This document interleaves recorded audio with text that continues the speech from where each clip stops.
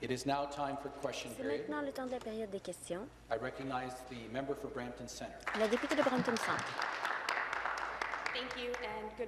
Merci. Uh, Bonjour, Monsieur le Président. question Ma première question s'adresse au Premier ministre. Vendredi, le Premier ministre a annoncé des mesures de santé publique que COVID-19. l'on attend depuis très longtemps pour contrôler la propagation de la COVID-19.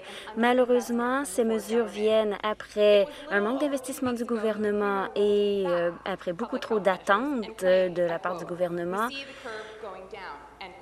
Il y a quelques mois, on voyait la courbe diminuer. Est-ce que le groupe de commandement du gouvernement a évalué combien de cas ont éclos en raison du manque de gestion du gouvernement? Le leader parlementaire du gouvernement. La vérité, c'est que le gouvernement a maintenu sa concentration pour empêcher la propagation de la COVID-19, non seulement au cours de l'été, mais au cours de l'automne. La ministre de la Santé a déposé un programme contre la deuxième vague qui était très complet, qui comprenait beaucoup d'investissements en dépistage. On a aussi investi sur le plan des soins de longue durée. Beaucoup de progrès a été fait alors qu'on continue de travailler à l'échelle du gouvernement pour aplanir la courbe. On comprend qu'il y a beaucoup d'éclosions à Peel et Toronto et c'est la raison pour laquelle nous avons agi pour aplatir la courbe. Complémentaire. Merci. Mais les- la nouvelle fermeture imposée vendredi aura des impacts dévastateurs, entre autres à Brampton. Mais c'est encore plus dévastateur parce qu'on aurait pu éviter la situation si, la première, mini- si le premier ministre n'avait pas passé des semaines et des mois à nier la deuxième vague et la menace de cette dernière et s'il n'avait pas ignoré les faits, on aurait pu agir. Est-ce que le premier ministre reconnaît que le déni de son gouvernement a empiré la situation en Ontario et s'engage-t-il à être transparent à l'avenir? Le leader parlementaire du gouvernement.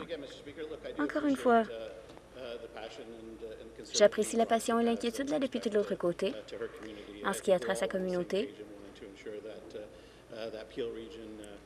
Ici, on est tous d'accord sur le fait qu'on veut que la région de Peel se remette le plus rapidement possible. On a redoublé d'efforts dans cette région. On travaille aussi avec nos partenaires municipaux. On comprend aussi, et c'est la raison pour laquelle la ministre de la Santé a, mis en a embauché plus de gens pour retracer les contacts. C'est difficile pour les entreprises, pour les familles. On, on le comprend, le ministre des Finances a mis en place plus de ressources pour aider les PME, mais en fin de compte, il faut redoubler d'efforts pour euh, respecter les mesures mises en place par la santé publique et il dépend de nous d'aplatir la courbe et de reprendre nos activités normales. Le gouvernement rassure la députée que nous ferons tout ce qui est dans notre pouvoir pour s'en sortir. Complémentaire final. Merci, je remercie le leader parlementaire du gouvernement pour sa réponse, mais vous savez, les chiffres augmentent quotidiennement et le premier ministre dit qu'il aplatit la, cour- la courbe et pourtant on voit les chiffres atteindre euh, des niveaux sans précédent. Et plutôt que d'agir, le premier ministre a atténué les mesures. Il a dit que ces mesures étaient appuyées par les, les personnes de la santé publique, euh, mais ces gens ne pouvaient pas contester puisqu'ils avaient des ordres de non-divulgation. Est-ce que le premier ministre retirera donc ces ordres imposés aux fonctionnaires afin qu'ils puissent dire ce qu'ils en pensent vraiment? La ministre de la Santé. Nous avons continué à travailler avec la population depuis le début. Nous continuerons de le faire. La situation dans la région de Peel est très, est très inquiétante. Je suis d'accord avec vous. On voit que le nombre de, de cas continue d'augmenter depuis le 10 octobre et c'est la raison pour laquelle nous avons fermé Toronto et la région de Peel. Pour passer à la zone rouge, il faut qu'il y ait 40 cas. Euh, actuellement, dans la région de Peel, on est au-dessus de 100. On supervise la situation depuis le début. On travaille avec le médecin hygiéniste en chef, mais aussi le docteur Lowe, qui est le médecin hygiéniste de la région de Peel. Nous mettons en, place les mesures nécessaires et on s'assure que la table, des, le groupe de, des mesures de santé publique ne signe pas d'ordre de non-divulgation. Ils peuvent euh, donner leur opinion, mais nous continuons de travailler sur la pandémie. Député de Brampton Centre, nouvelle question. Au premier ministre de nouveau, la pandémie a frappé toutes les familles de l'Ontario de façon très forte, mais tout particulièrement à Brampton. À Brampton, il y a des milliers de travailleurs essentiels. Ce sont les gens qui nous ont permis de continuer, qui ont continué d'aller au travail afin que l'on puisse rester à la maison. C'est nos camionneurs, nos euh, conducteurs de taxi, les travailleurs dans les entrepôts et même les travailleurs de la santé. Ils méritent plus que nos remerciements. Ils méritent des gestes, notre soutien, des services hospitaliers, des tests, des congés maladie payés afin de rester à la maison lorsqu'ils sont malades? Pourquoi est-ce que le gouvernement Ford ne leur fournit absolument aucun de ces éléments? La ministre de la Santé, on a fourni des mesures pour les aider, pour aider tous les travailleurs de première ligne. Comme vous l'avez indiqué, les camionneurs, ils font partie de notre chaîne d'approvisionnement. Toutes ces personnes ont besoin de notre soutien. Ils l'ont depuis le début. On a offert les équipements de protection individuelle nécessaires pour nous assurer que les gens aussi aient l'aide financière nécessaire s'ils ont été mis à pied ou ont perdu des heures de travail. On fait tout ce qui est en notre pouvoir pour nous assurer aussi que nos travailleurs de la santé, dans les premières lignes, aient les EPI nécessaires, les ressources nécessaires dans nos hôpitaux et installations de soins de santé. On s'assure d'augmenter la capacité parce que pour les gens qui sont infectés par la COVID, mais aussi pour continuer les chirurgies qui ont été retardées au cours de la première vague. Complémentaire. Monsieur le Président, les travailleurs de Brampton qui mettent leur santé à risque en plein milieu d'une pandémie ne devraient pas à s'inquiéter des, des, éléments de base, par exemple de choisir une journée de salaire ou d'aller au travail malade. Le premier ministre a retiré les congés maladie payés l'an dernier et lorsque les néo-démocrates ont redemandé ces congés, le premier ministre a décidé d'entraver les, les travaux est-ce que le premier ministre respectera les souhaits du Dr Lowe et s'assurera que les travailleurs puissent prendre un congé maladie payé si c'est nécessaire? L'adjointe parlementaire et député de Burlington. Merci pour la question. Le 16 juillet, le premier ministre Ford s'est joint à notre gouvernement avec un investissement de 19 milliards de dollars dans un, dans un accord de reprise économique. Ça inclut 1 milliard de dollars et 10 jours de congé maladie payés. On a déposé le projet loi C2 au fédéral qui permettra d'avoir des congés payés, des congés maladie payés. Ça a été adapté le 24 septembre euh, en première lecture et nous serons prêts lorsque ce projet de loi sera adopté au fédéral. Merci. Complémentaire final. Merci. La pandémie de COVID a exposé des problèmes que le premier ministre préférait ignorer. Les communautés comme Brampton, Scarborough, Jane Finch, ces communautés ont de la difficulté depuis des années avec un manque de financement et un traitement de seconde classe. On n'a pas besoin de leçons du premier ministre d'éviter les fêtes ce dont ils ont besoin, c'est plus de ressources pour retracer les contacts. On a besoin de programmes pour euh, passer le mot et sensibiliser la population sur la COVID-19. Et ces régions ont besoin d'aide pour payer le loyer, nourrir leurs enfants et arrêter de s'inquiéter sur la COVID. Quand est-ce que le premier ministre agira? L'adjointe parlementaire et députée de Burlington. Merci encore pour la question. Nous continuons à travailler sur la COVID et au contraire de notre travail, le gouvernement fédéral a décidé de proroger la Chambre. Je comprends votre frustration. On attend depuis euh, très longtemps. Nous aussi. Député de Waterloo, nouvelle question. Merci. Au premier ministre, ce matin, les résidents à Peel et Toronto se sont retrouvés en fermeture complète. On sait qu'il faut faire euh, notre part pour euh, diminuer la propagation de la COVID-19, mais Pour les gens qui ont eu la pire année de leur vie, la nouvelle a été dévastatrice. On est à la saison de Noël euh, et c'est les magasins de vente au détail dépendent de cette saison pour pouvoir survivre et maintenant ils doivent fermer leurs portes. Le premier ministre a promis de doubler le soutien, mais lorsqu'on double rien, ça vous donne encore rien. Quand est-ce qu'on aidera vraiment ces magasins familiaux? Pourquoi est-ce que le gouvernement refuse d'aider? Ministre associé des PME et de la diminution du fardeau administratif. Merci, je suis en désaccord avec la base de cette question, mais on comprend. Il n'y a pas de façon de bien raconter cette histoire. On est dans une époque très difficile. Personne n'a jamais vécu ça. Aucune famille, entreprise ou particulier a été affectée comme ça par une telle pandémie. Et c'est la raison pour laquelle on a offert un soutien sans précédent aux entreprises au cours de la pandémie. Récemment, le ministre des Finances a publié euh, le fait qu'il fournit maintenant 6 millions de dollars pour aider les PME. Cette application, cette demande est en ligne. On peut faire une demande par un portail et ça aidera les entreprises qui euh, ont accès aussi à la subvention pour les EPI. J'encourage tous ceux qui sont affectés par ces restrictions de faire une demande par le portail en ligne pour obtenir le soutien nécessaire.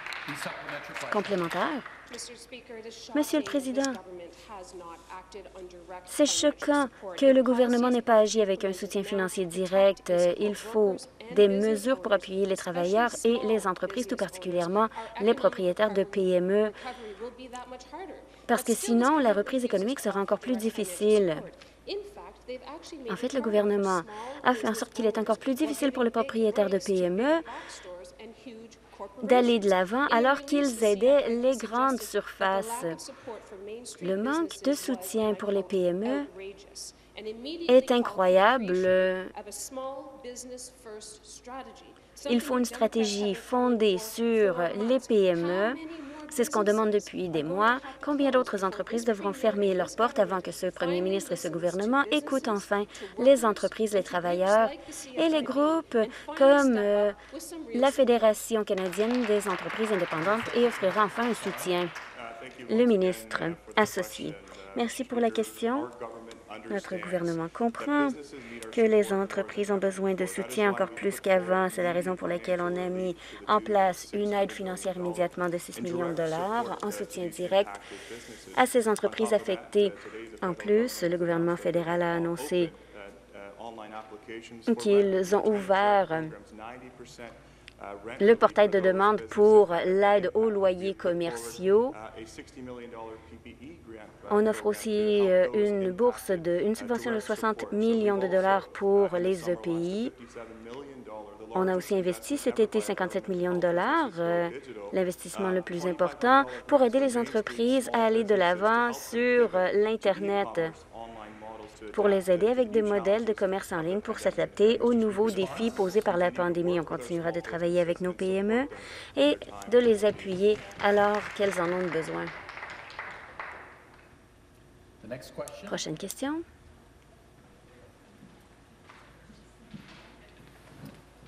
Willowdale. Député de Willdale. Merci. À la ministre des Transports. Trop souvent, on voit les politiciens qui donnent la responsabilité à d'autres territoires de compétences.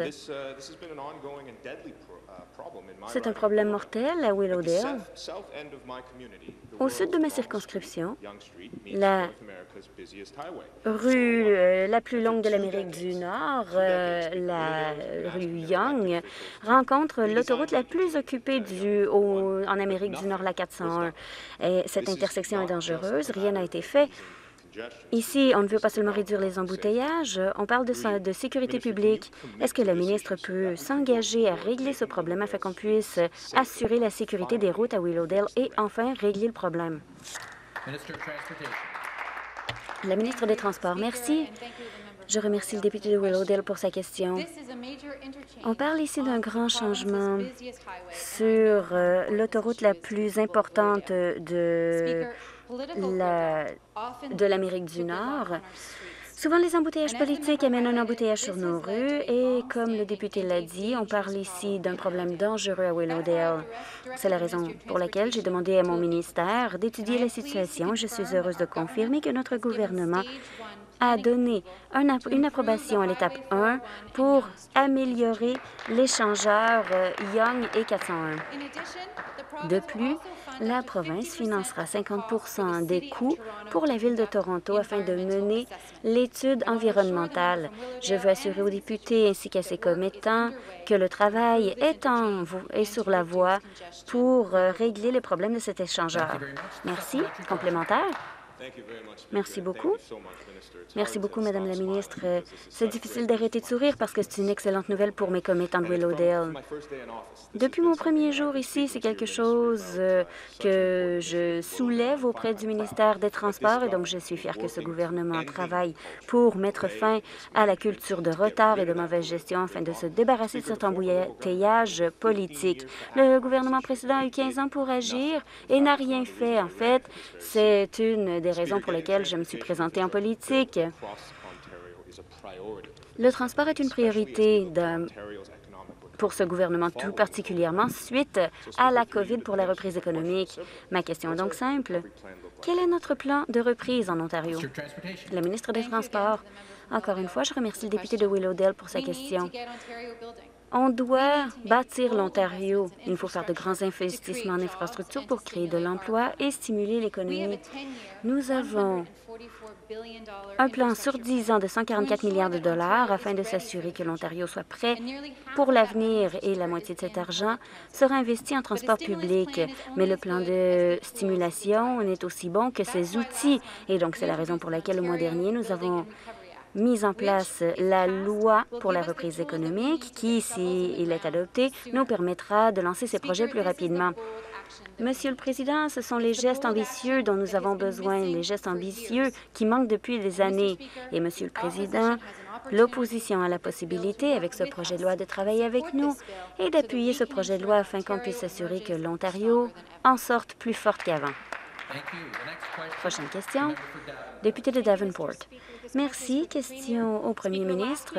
La semaine dernière, je, lui ai demandé, je lui ai posé des questions plutôt sur une éclosion dans une école à Windsor et sa réponse, le ministre de l'Éducation a dit, je cite, « La transmission ne se propage pas à l'école. » Maintenant, il y a six cas positifs qui ressortent de cette école et vendredi, une autre école de Windsor a été fermée. Cette fois-ci, c'était dans le la commission scolaire catholique.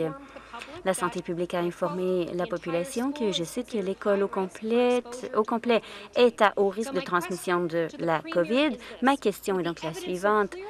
Avec les preuves qui montrent clairement le, les risques augmentés de transmission de la COVID en école au cours de la deuxième vague. Pourquoi est-ce qu'il n'y a rien, rien n'a été fait pour protéger les étudiants et les enseignants? Le ministre de, l'Éducation. Les experts ont été clairs sur le fait que le plan que nous avons dévoilé assure la sécurité des enfants. C'est très important pour nous pour assurer que les élèves que, que les écoles demeurent ouvertes.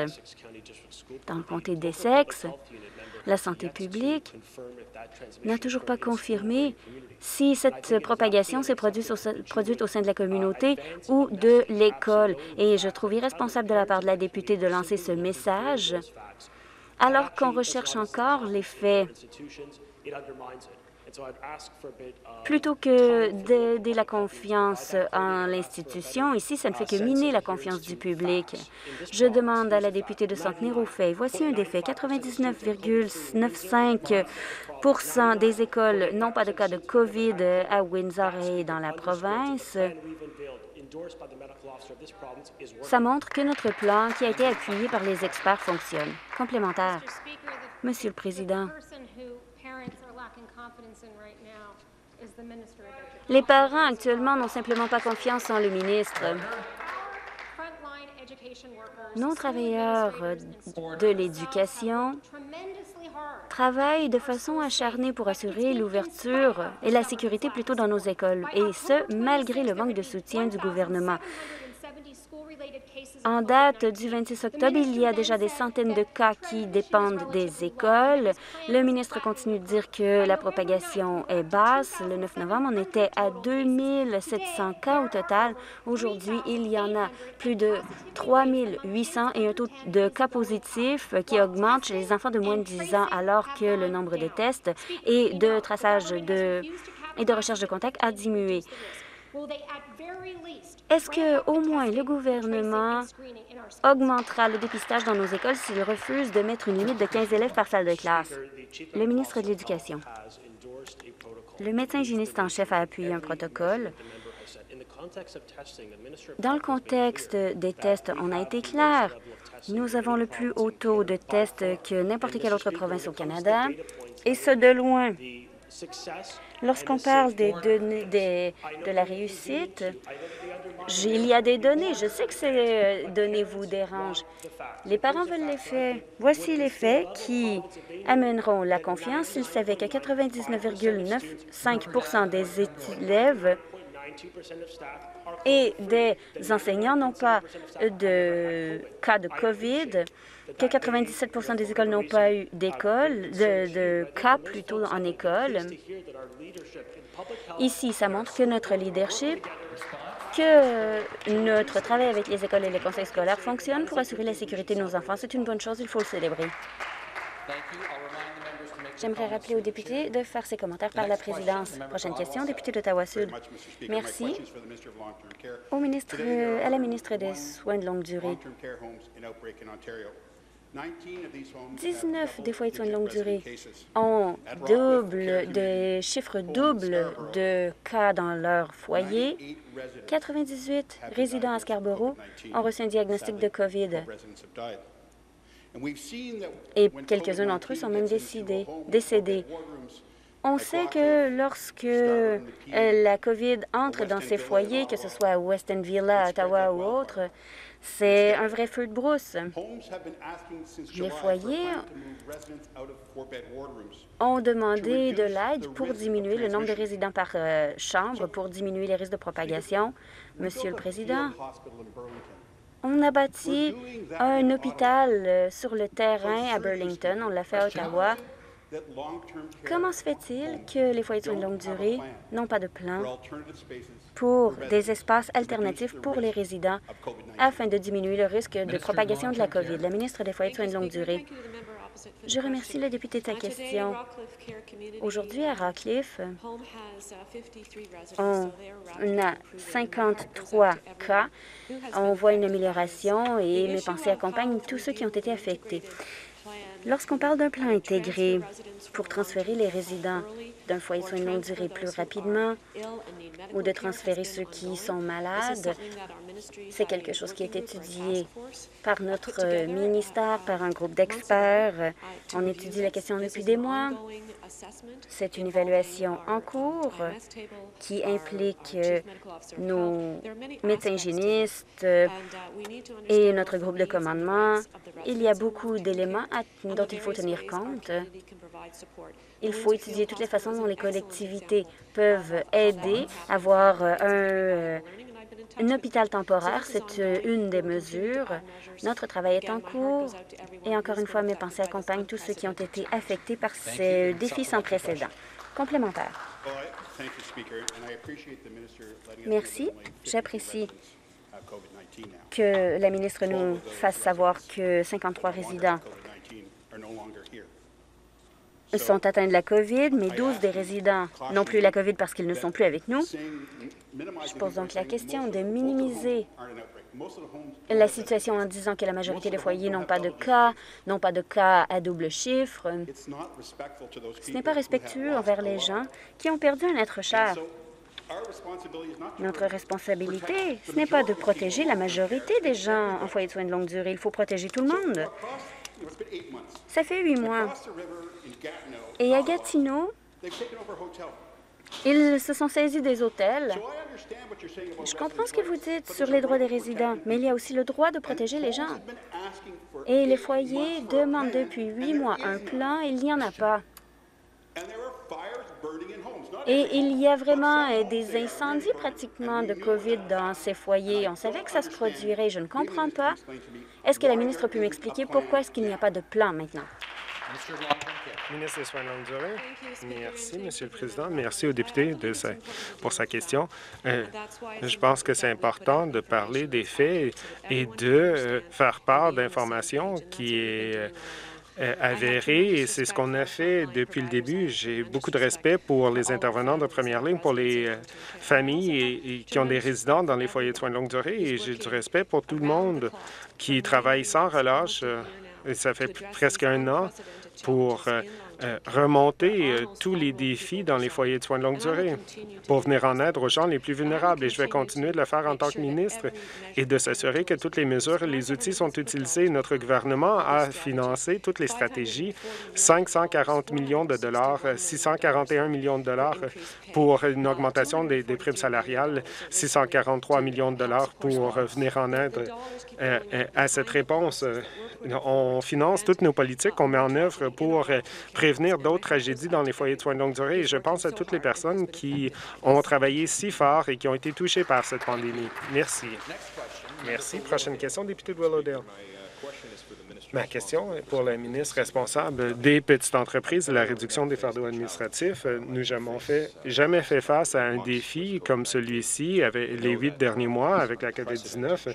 Nous savons que ces problèmes inédits qui ont, nous ont forcés à faire des décisions euh, en consultation avec des médecins hygiénistes. Beaucoup d'entreprises, on a dû les forcer à fermer ou de restreindre les services qu'ils offraient à la suite des mesures sanitaires.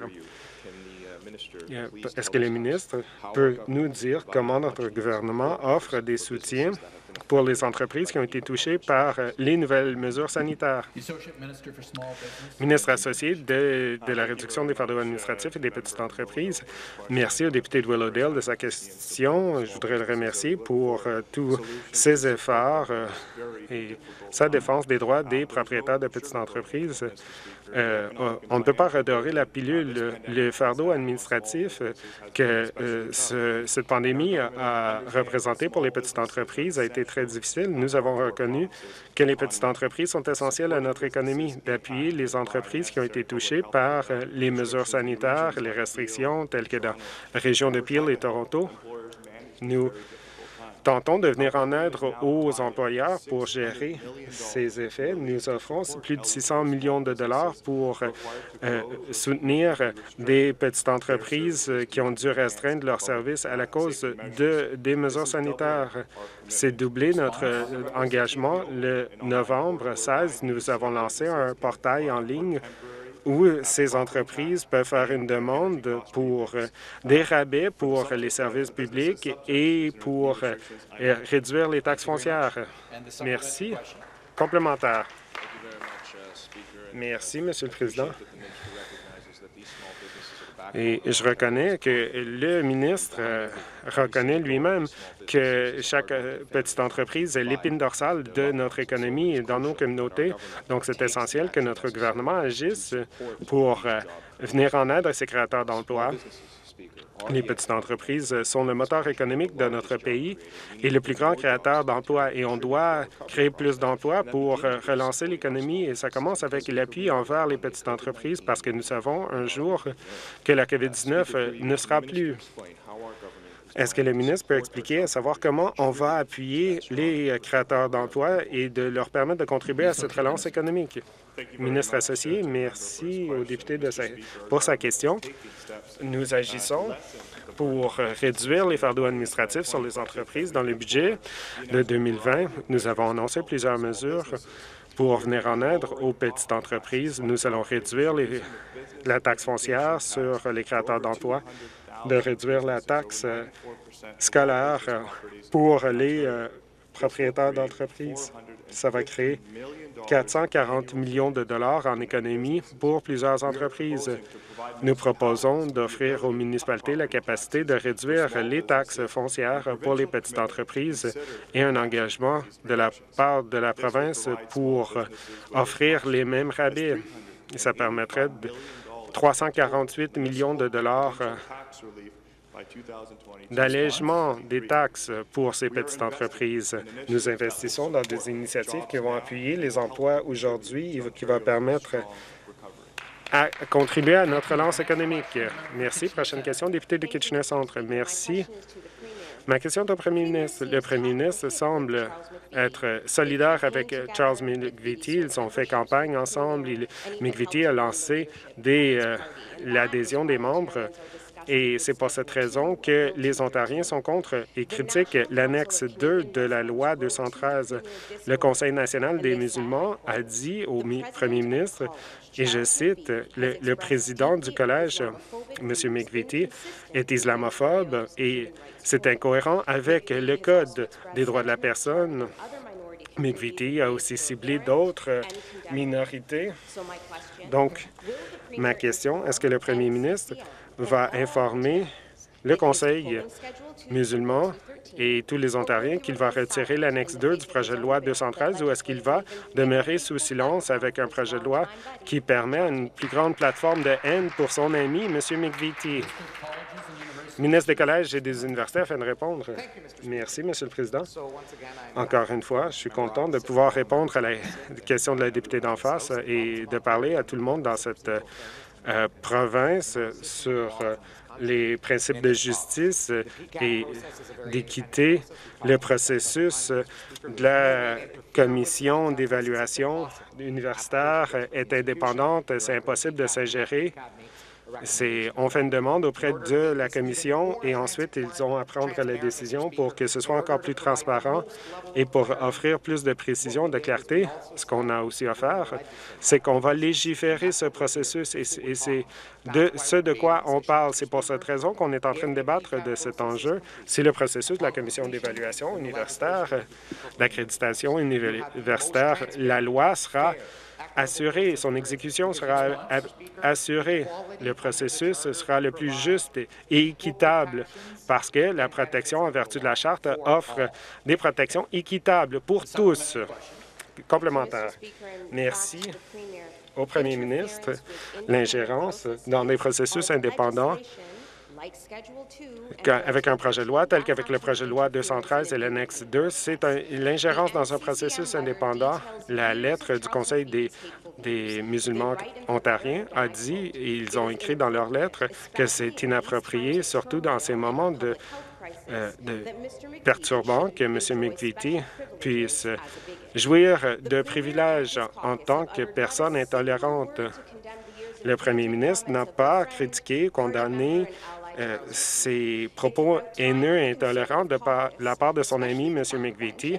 Il est temps que le groupe parlementaire des conservateurs surtout ceux derrière-banc qui pensent qu'ils sont inclusifs, qu'ils prennent la parole et qu'ils critiquent et dénoncent ce projet de loi. Est-ce que le premier ministre permettra d'avoir un vote libre sur le projet de loi 213 ou est-ce qu'il va forcer le parti de voter avec lui sur un projet de loi qui légifère la haine? Veuillez vous rasseoir. Ministre des Collèges et des Universités. Merci, Monsieur le Président. Vous savez, c'est très facile pour l'opposition de prendre la parole et de parler de l'ingérence dans le processus. Ils interviennent, ils ingèrent dans le processus. C'est ce que les, députés de l'opposition font. En tant que gouvernement, nous avons une responsabilité d'assurer l'exécution de la charte. Le principe de la, motion qui va être déposée cet après-midi et qui était avant euh, déposée par la leader de l'opposition officielle, euh, la prémisse derrière cette motion, est allé à l'encontre de la charte, de violer la charte, de faire tout ce qu'on peut, d'empêcher une institution de faire une demande par un processus indépendant. C'est illicite, c'est anticonditionnel. Et ils peuvent proposer des motions, malheureusement, qui n'ont pas de validité juridique. Mais nous, en tant que députés au sein du gouvernement, nous avons la responsabilité de maintenir la règle du droit et du principe d'équité Et nous allons continuer de le faire parce que c'est notre responsabilité de le faire. Prochaine question, député de Guelph. Merci. Ma question est au premier ministre. Des chercheurs nous ont dit qu'on doit avoir plus de mesures d'atténuation des inondations et d'empêcher que les coûts triplent à la suite des inondations d'ici les prochaines années. Au lieu, vous êtes en train de vous en prendre aux offices de protection de la nature. Les municipalités sont aux premières lignes des dommages. Je voudrais citer le maire de London. Ces changements vont nuire aux résidents si on permet aux résidents de construire sur des plaines inondables. Et qui va payer pour la facture? Ce sera les contribuables. C'est pour cette raison que les maires, les chercheurs et les, écologistes euh, sonnent les alarmes. Est-ce que le premier ministre va écouter les leaders locaux et de retirer l'annexe 6 du projet de loi 229? Réponse du gouvernement, la députée de Barry-Innisville, l'adjointe parlementaire. Merci. Notre gouvernement aide les offices de protection de la nature d'atteindre leurs objectifs, tels que d'éviter, de prévenir les inondations avec les objectifs par le passé, dans les années 1970, où euh, près de Grand River, on a mis une infrastructure en place pour y prévenir les inondations il y a des accomplissements, d'autres accomplissements, contrairement aux libéraux qui vont construire une piscine personnelle telle que euh, M. Del Duca veut construire ou euh, le Parti vert qui n'en parle même pas de cette entente ou de, faire tout ce qu'ils peuvent pour euh, protéger l'environnement. Monsieur le Président, dernièrement, on offre un financement pour protéger l'environnement complémentaire. Monsieur le Président, avec tout le respect que je lui dois à l'adjointe parlementaire, l'Office de protection de Grand River a une réunion d'urgence ce matin. Ils ont lancé cette réunion en disant que, et je cite, « Cela va miner notre capacité de protéger les euh, bassins versants. » On doit être honnête.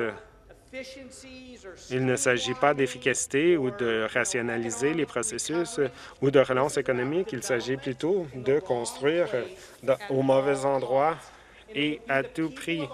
Et ce sera les Ontariens qui auront à payer pour la facture que ce changement va apporter.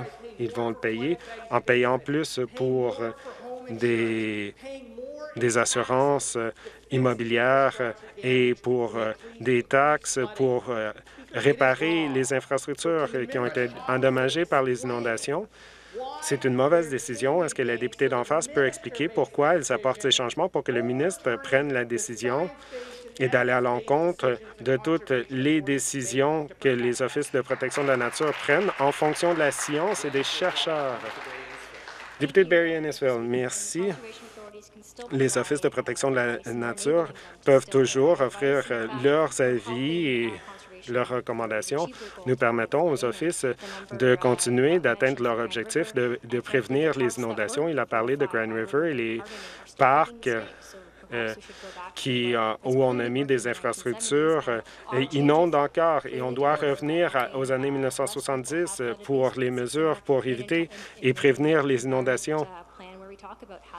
Avec notre plan de l'environnement, on parle de comment prévenir les inondations. C'est pour cette raison qu'on apporte des investissements, contrairement aux néo-démocrates. On parle de la conversation, euh, de, la conservation, et contrairement aux libéraux, on ne va pas sabrer, mais plutôt protéger l'environnement. Merci. Prochaine question, député de Willowdale. Merci, Monsieur le Président. Cette province, encore une fois, euh, a imposé d'autres restrictions pour la COVID-19. Cela veut dire que des événements qui ont été planifiés pendant des mois ont dû faire face à cette difficile nouvelle qu'ils ne pouvaient pas célébrer qu'ils auraient voulu le faire. Et c'est dévastateur pour les personnes et les entreprises.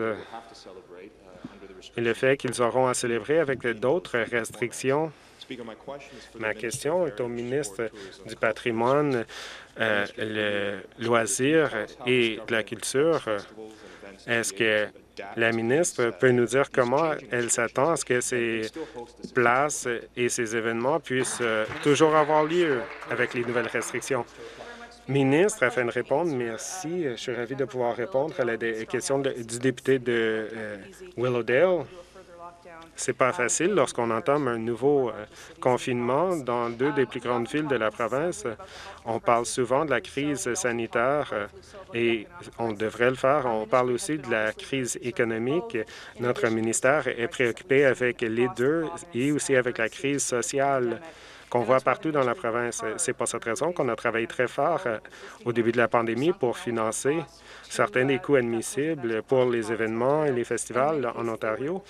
Et dans plusieurs cas, ils ont pu s'adapter avec différents modes d'offres de, services.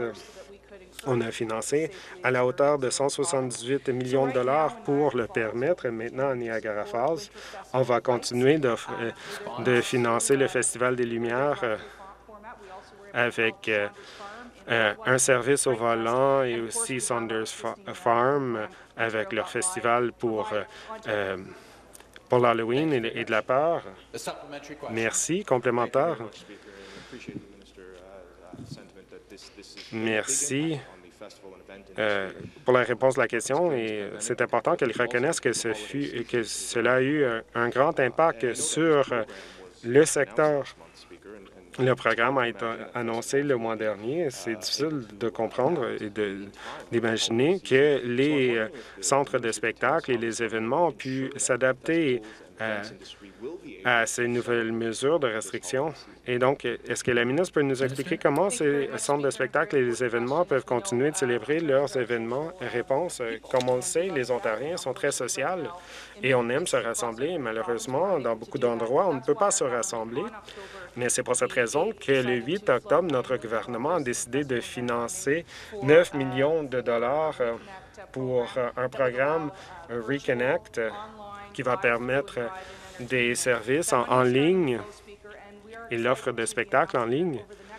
Et durant le prochain mois, on va appuyer des événements et les festivals ici, euh, partout dans la province, ce qui comprend aussi ici à Toronto alors qu'on entame la période des fêtes, alors que plusieurs d'entre nous euh, vont, voudraient plutôt se réunir avec euh, les proches de la famille, euh, mais ce sera bien, par contre, d'avoir un contenu en ligne et des événements en ligne.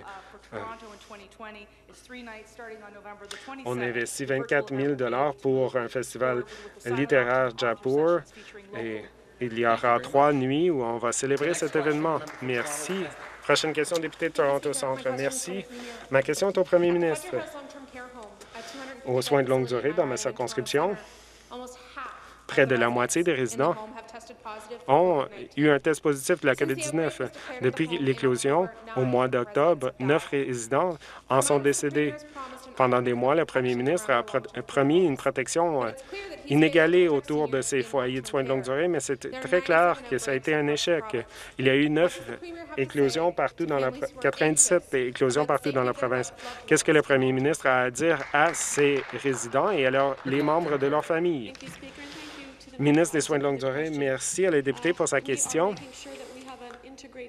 Nous nous assurons qu'on a un processus intégré pour venir en aide et pour appuyer les foyers de soins de longue durée où il y a une éclosion. Et je voudrais rappeler qu'une éclosion veut dire un résident ou un membre du personnel qui a eu un test positif de la COVID-19. Des 101 maisons en éclosion, 47 n'ont aucun résident, 14 ont un résident, 4 ont deux résidents, et c'est juste pour vous donner les faits. Et on doit en faire plus pour ajouter des, couches de protection dans des endroits où il y a une forte incidence, une forte prévalence du nombre de cas, parce que nous savons que c'est une cause d'augmentation du nombre de cas dans les foyers de soins de longue durée. C'est pour cette raison qu'on a augmenté le nombre de tests de dépistage on fait euh, des tests hebdomadaires. Avant, c'était à tous les deux semaines. Maintenant, c'est à toutes les semaines. On ajoute d'autres couches de protection pour protéger les résidents. Complémentaire. Merci. Avec tout respect à la ministre, je ne demande pas euh, une question concernant un foyer de soins de longue durée où il y a un ou deux cas, ou mais plutôt un foyer de soins de longue durée où il y a 112 cas. On avait zéro cas durant la première vague Et maintenant, c'est le pire bilan de la ville.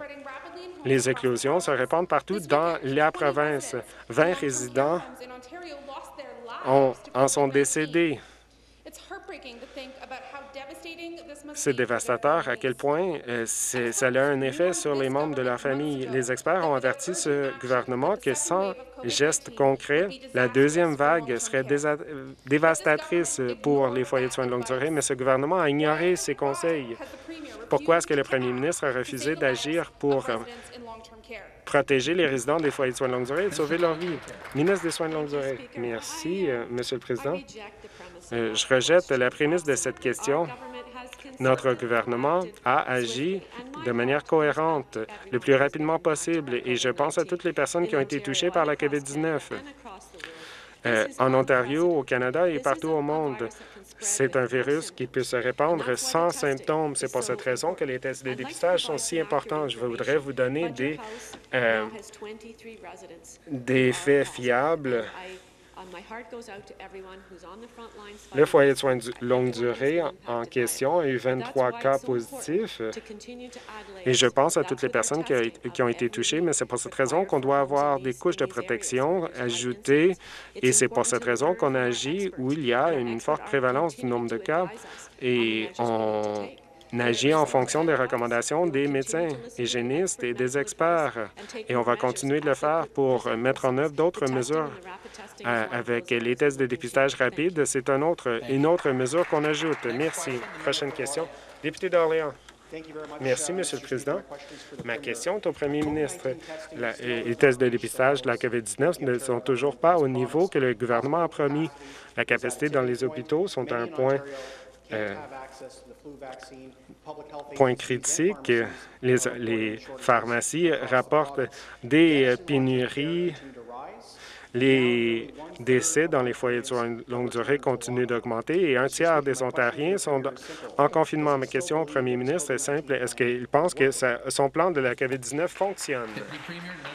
Vice-première ministre, ministre de la Santé, la réponse courte est, oui. Le plan fonctionne. Notre plan de l'automne fonctionne. Nous avons augmenté les tests de dépistage. Durant la dernière fin de semaine, on a fait 48 000 tests dans une seule journée. On a presque fait des tests, plus de 6 millions d'Ontariens pour des tests de dépistage. C'est beaucoup plus que toute autre province au Canada. Lorsqu'il y a des points chauds dans la province, euh, il y a des tests mobiles. On permet aux gens de se présenter sans rendez-vous parce qu'on reconnaît que dans certains de ces points chauds, la situation est difficile pour plusieurs personnes pour euh, prendre rendez-vous euh, en ligne ou par téléphone. Donc, on agit pour en arriver à ces points chauds et pour prévenir d'autres éclosions. On augmente notre capacité dans les hôpitaux. On a créé plus de 3 000 lits depuis le début de la pandémie. Nous augmentons notre capacité pour la recherche de contacts et, je vais en dire plus lors de ma complémentaire. Complémentaire. Merci, Monsieur le Président. Ma complémentaire est aussi au Premier ministre. La ministre de la Santé a dit que l'Ontario a reçu 1,6 million de dollars du vaccin Pfizer et 800 000 pour le vaccin Moderna. Et ensuite, le euh, gouvernement fédéral a démenti euh, ces faits. Mais euh, puisque les faits changent d'une journée à l'autre, on peut comprendre pourquoi les Ontariens ont des questions. On n'a toujours pas entendu le plan de la part de ce gouvernement pour la distribution des vaccins dans la province. Quand est-ce que le gouvernement va offrir un plan clair pour un plan de vaccination pour euh, la COVID-19 euh, aux Ontariens. Euh, ministre de la Santé, les chiffres n'étaient pas inexacts qu'on a cités concernant le nombre de vaccins COVID qu'on s'attend à recevoir. On sait combien qui vont être reçus par le Canada et par habitant. Et selon une distribution par habitant, les chiffres sont exacts et ils ont été confirmés avec mon ministère et avec le ministère avec la ministre fédérale. La distribution de ce vaccin sera très importante. On a des équipes qui sont établies au sein du ministère de la Santé et avec la solliciteur générale pour s'assurer qu'aussitôt qu'on reçoit ces vaccins, ils seront déployés le plus rapidement possible. C'est essentiel Il n'y a aucun en- autre enjeu qui est plus important. C'est pertinent pour tous les Ontariens. On veut s'assurer que les intervenants de première ligne vont être une priorité parce que c'est eux qui ont à composer avec la COVID-19 quotidiennement. Mais on aura un plan détaillé qui est préparé avec plusieurs ministères. Merci. Thank you. The next question, the member for Humber River. Député de Humber River, Black Creek. Merci, Monsieur le Président. Ma question sont pour le Premier ministre. Une conférence de presse au mois de mars a fait que Pussy Terry's avait des désinfectants partout au visage. Le premier ministre a dit que c'est fini, c'est terminé. Si vous êtes condamné, vous devez faire face à une, un an en prison, dont euh, lorsque la ligne téléphonique pour le gonflement des prix a été annoncée par la province, on ne les a pas critiqués parce que la protection des consommateurs est toujours au cœur de nos valeurs en tant que néo-démocrates, mais la semaine dernière, une enquête de CBC Marketplace a dévoilé qu'après 29 500 plaintes de la part des consommateurs de l'Ontario durant les huit derniers mois, pas une seule amende ou une accusation a été déposée. Accusation. Donc, on doit se poser la question, est-ce que le premier ministre pense que les 29 500 plaintes étaient infondées? Ou est-ce que la protection des consommateurs n'est pas suffisamment une priorité pour que le gouvernement agisse? Ministre des Services aux consommateurs et des services du gouvernement. Au député d'en face, merci de sa question parce que ça me permet de partager de la part du premier ministre et de notre gouvernement qu'on a agi. C'est important de reconnaître que mon ministère travaille avec la solliciteur générale et les pires plaintes, on les réfère, on les renvoie aux forces policières. On en a référé plus de 900 aux forces policières et nous avons parlé aux gens qui ont déposé une plainte et ceci étant dit, nous sensibilisons les gens avec des lettres et des raisons pour lesquelles les gonflements des prix exorbitants doivent être euh, qu'on ne doit pas le faire. Et je suis très fier de tous nos efforts dans notre ministère. Et je voudrais aussi remercier la solliciteur générale d'avoir aidé avec les pires contrevenants complémentaires. De belles paroles, mais euh, aucun geste pour le prouver. Après minuit, Toronto et Peel va entamer un confinement. Plusieurs résidents qui ont perdu leur emploi et d'autres sont au chômage. Les entreprises auront perdu une, grande partie de leurs revenus. Maintenant, les Ontariens vivent euh, du jour à l'autre. Ils ont de la difficulté à savoir comment ils vont se venir à leurs besoins. Donc, lorsqu'ils ont à payer plus de 30 pour euh, du papier toilette ou lorsqu'il y a un gonflement des prix dans d'autres euh, produits de base, ça leur fait du tort. Donc, on a vu de belles paroles de la part de ce gouvernement, mais aucun geste concret. Est-ce que le premier ministre est prêt à faire quelque chose pour protéger les consommateurs de l'Ontario lors de cette pandémie? Le ministre afin de répondre. Encore une fois, Monsieur le Président, je voudrais partager avec les députés d'en face ce que nous avons fait. Nous avons une ligne téléphonique de protection des consommateurs. Je demande à toute personne qui a dû subir une situation de gonflement de prix de faire une plainte parce que nous agissons immédiatement. Nous travaillons avec le solliciteur général et avec toutes les plaintes qui ont été déposées. On a travaillé avec les forces policières partout en Ontario. 900 de ces plaintes, ont, il y a eu un suivi de la part euh, d'une des forces policières de la province et c'est une forte réponse ça démontre à quel point nous mettons des efforts concernant les enquêtes. Nous travaillons avec ceux contre qui on a déposé une plainte pour les sensibiliser et sensibiliser non seulement les, euh, le magasin lui-même, mais aussi le fournisseur et de travailler euh, sur toute la chaîne d'approvisionnement. Prochaine question, député de Glengarry, Prescott Russell. Monsieur le Président. Monsieur le Président, ma question s'adresse au ministre de l'Environnement. La semaine dernière, la vérificatrice générale de l'Ontario a publié un rapport cinglant, extrêmement critique du gouvernement, soulignant entre autres l'inaction de ce gouvernement en matière d'environnement et le fait qu'il ne respecte même pas ses propres lois environnementales.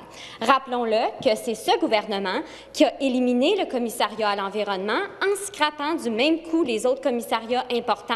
Et là, l'attaque sur l'environnement continue comme la vérificatrice l'indique dans le rapport, avec le gouvernement qui limite sévèrement le personnel du ministère qui, effectivement, empêche le travail de protection de notre environnement, notre eau propre et notre air pur. Alors, Monsieur le Président, la question se pose. Est-ce que le gouvernement croit réellement au changement climatique, oui ou non? Et si oui, pourquoi toutes les preuves de par leur action démontrent le contraire? Député Barry Innisfil, adjointe parlementaire, merci. Notre gouvernement prend l'environnement très au sérieux.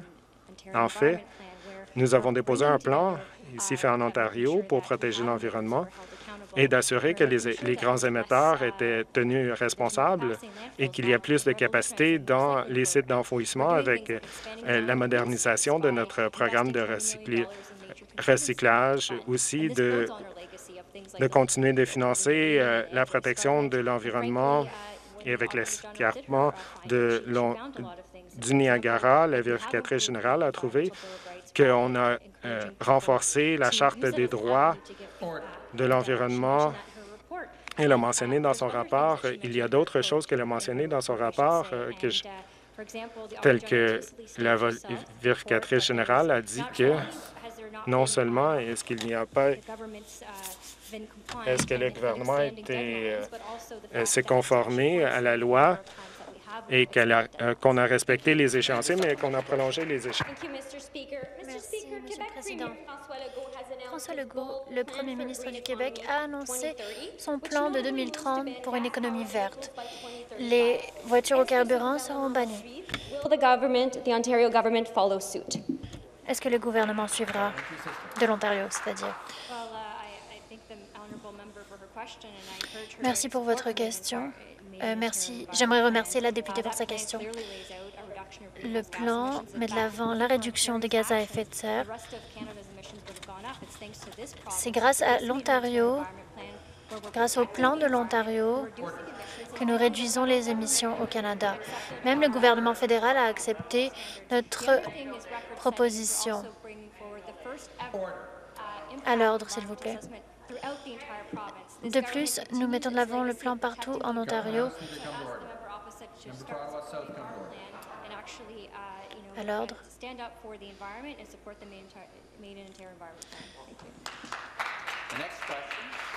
Question.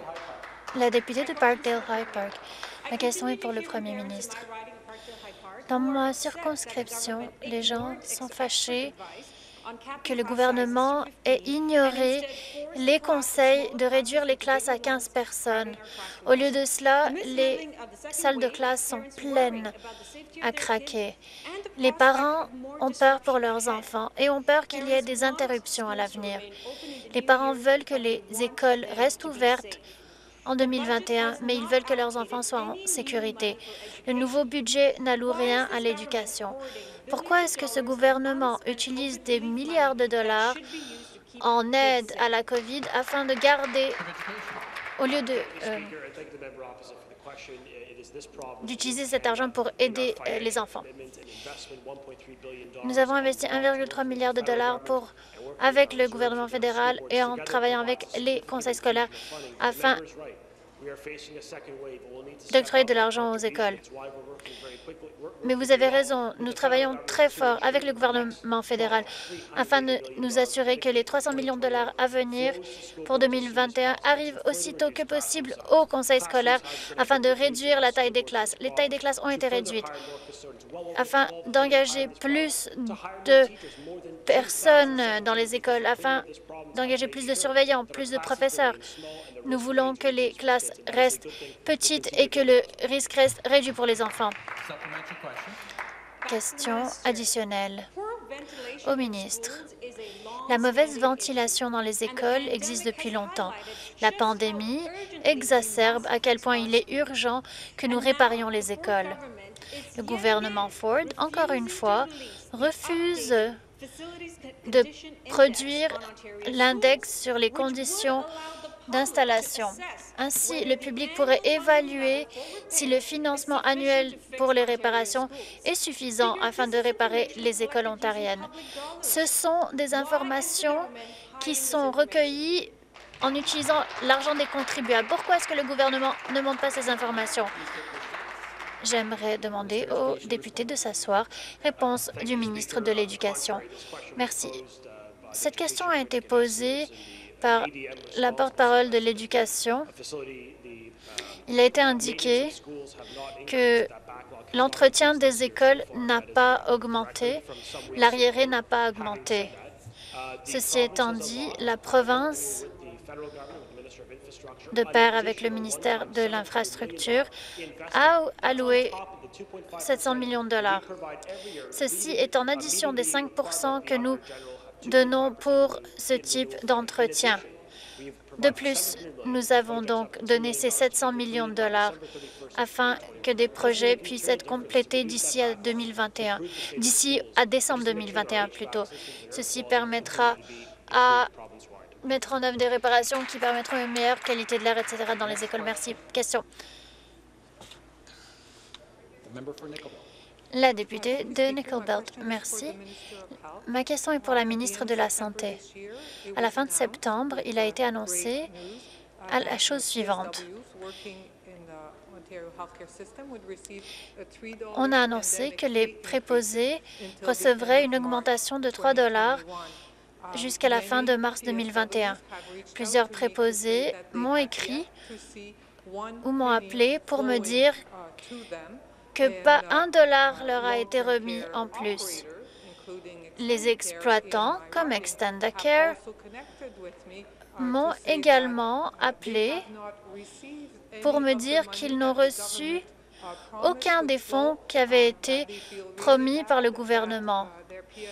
Ces exploitants se sentent très mal que leurs employés préposaient leur demande ces 3 dollars de bonification alors que le gouvernement n'a pas octroyé ces fonds. La réponse de la ministre. Merci pour votre question.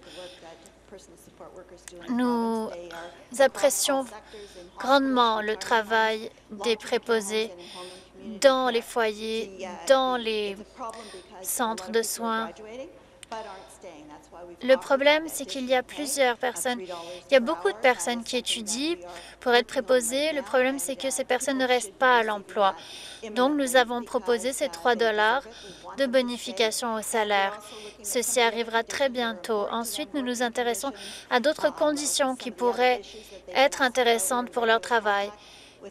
Nous sommes en contact avec les associations de préposés ainsi que d'autres associations parce que nous voulons que les préposés reviennent au travail et restent au travail. Nous travaillons très fort et l'argent devrait arriver incessamment. Merci.